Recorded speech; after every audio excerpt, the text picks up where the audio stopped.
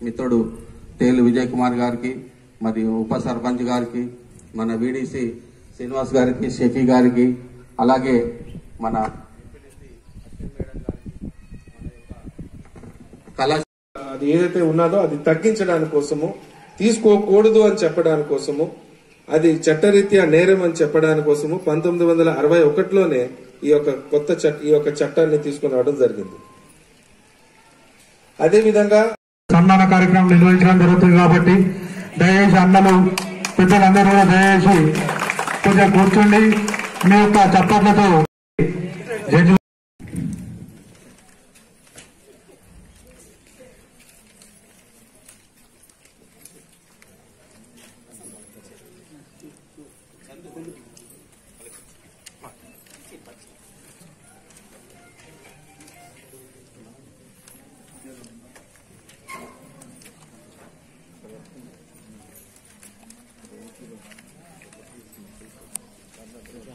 కూడా ఇక్కడికి వచ్చారు.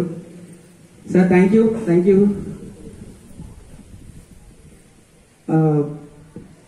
చట్టాలపైన అవగాహన కల్పించడానికి అలాగే మన దగ్గర ఉన్న లోక్ అదాలత్ని ఎట్లా వాడుకోవాలి మనకున్న అవకాశం. నెలకు సెకండ్ సాటర్డేకి లోక్ అదాలత్ ఉంటుంది. దాన్ని కరెక్ట్ వేలా యూజ్ యూజ్ చేసుకోవట్లేదు. దాన్ని ఎట్లా యూజ్ చేసుకోవాలి? అలాగే ఇప్పుడు వచ్చే వచ్చే నెల పన్నెండో తారీఖు నిజామాబాద్ ఆధ్వర్యంలో ఈరోజు సిర్నపల్లి గ్రామంలో జరుగుతున్నటువంటి న్యాయ విజ్ఞాన సదస్సుకు ఇచ్చేసినటువంటి మన గౌరవ district principal judge and district principal and session judge గౌరవ మేడం సునీత మేడం గారికి. అదేవిధంగా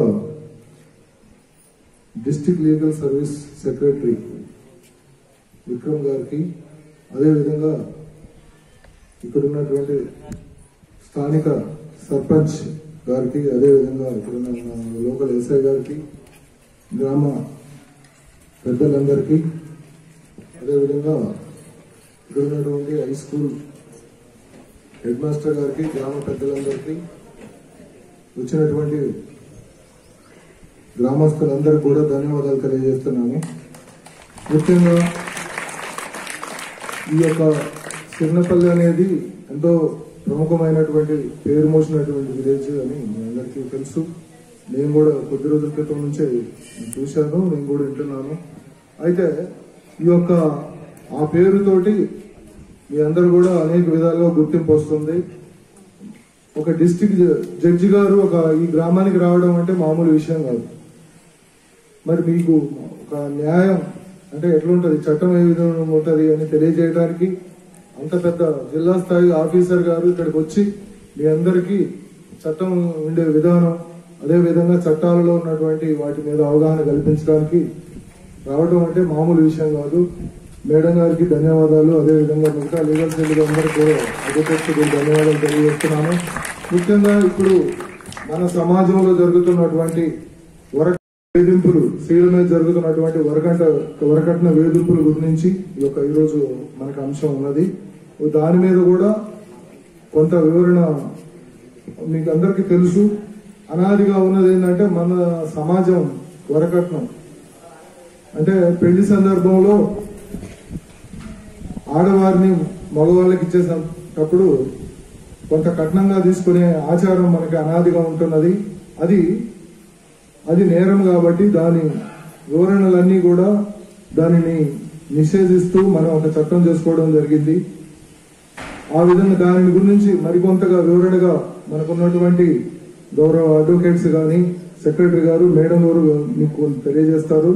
ఈ సందర్భంగా నాకు మాట్లాడడానికి అవకాశం కల్పించినటువంటి మన లీగల్ సెల్ సర్వీస్ వారికి అదే సర్వీస్ వారికి అదే విధంగా గ్రామ సర్పంచ్ ప్రజలందరూ కూడా ధన్యవాదాలు తెలియజేస్తూ మన మేడం మాటలు మీరు కొంచెం చెప్పేటువంటి మాటల్ని కూడా వివరంగా ఆలకించాలని మీ అందరి ప్రజలందరినీ కోరుకుంటున్నాను.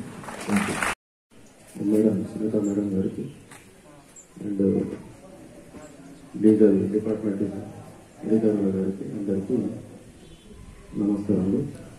ఈరోజు టాపిక్ విలేలో జరుగుతున్నటువంటి వరకట్న నిషేధం గురించి ప్రజలందరికీ అవేర్నెస్ కల్పించాలని ఉద్దేశంతో ప్రోగ్రామ్ పెట్టడం జరిగింది. కావున మీరందరూ మేడం చెప్పే మాటలు శ్రద్ధగా వినండి. అవకాశం ఇచ్చినందుకు ధన్యవాదాలు. చెప్పడానికి డౌరీ ప్రొహిబిషన్ గురించి ఉషామిత్ర గారు చాలా బాగా చెప్పడం జరిగింది ప్రతి ఒక్కరికి కూడాను. అంటే డౌరీ తీసుకోవడం వల్ల ఎన్ని నష్టాలు అనేవి ఇప్పుడు ఆయన చదివిపరచడం జరిగింది. అసలు డౌరీ అంటే ఏంటి? మీకు డౌరీ అనేది తీసుకోవడం అంత అవసరమా? ఇక్కడ మీరు చూసినట్లయితే కొన్ని సంవత్సరాలు కొన్ని వేల కొద్ది సంవత్సరాలుగా ఈ యొక్క కస్టమ్స్ అని చెప్పుకుంటూ ఈ యొక్క డౌరీ అనేది ఇచ్చుకోవడం పుచ్చుకోవడం అనేది జరుగుతూ ఉంటుంది అది ఆ టైం నుంచి అలాగ ఒక సంవత్సరాల సంవత్సరాల నుంచి అది నడుచుకుంటూ అది ఇప్పుడు కూడా ఇంకా పరిగణలోని ఇంకా డౌరీ అనే విషయాన్ని ఇంకా తీసుకోవడం జరుగుతుంది. అదే దానికి సంబంధించే పంతొమ్మిది వందల అరవై ఒకటిలో ఈ యొక్క డౌరీ నిషేధ చట్టం అనేది తీసుకొని రావడం జరిగింది. అసలు డౌరీ అనేది ఏంటంటే ఏదైనా సరే వాల్యుబుల్ సెక్యూరిటీ అంటే ఏదైనా విలువైన వస్తువుల్ని ఇచ్చుకోవడం పుచ్చుకోవడం అనేది ఏదైనా జరిగినట్లయితే అది డౌరీ అనేది అంటాం. అంటే కట్నం కింద మనం తెలియపరుస్తాం. తెలుగులో చెప్పుకోవాలనుకుంటే. మరి ఈ యొక్క తీసుకోవడము ఇవ్వటము అనే ఆచారాలు ఏవైతే ఉన్నాయో అవి పంతొమ్మిది పంతొమ్మిది వందల అరవై ఒకటిలోనే అవి నిషేధించడం జరిగింది. అయినా సరే అయినా సరే దాన్ని ఇంకా కొంతమంది దాన్ని తీసుకోవడము ఇంకా నడిపించడం జరుగుతుంది. అది వాళ్ళు పెద్ద తరహాగా అని వాళ్ళు అనుకుంటున్నారు. కానీ అది చట్టరీత్యా నేరం అది.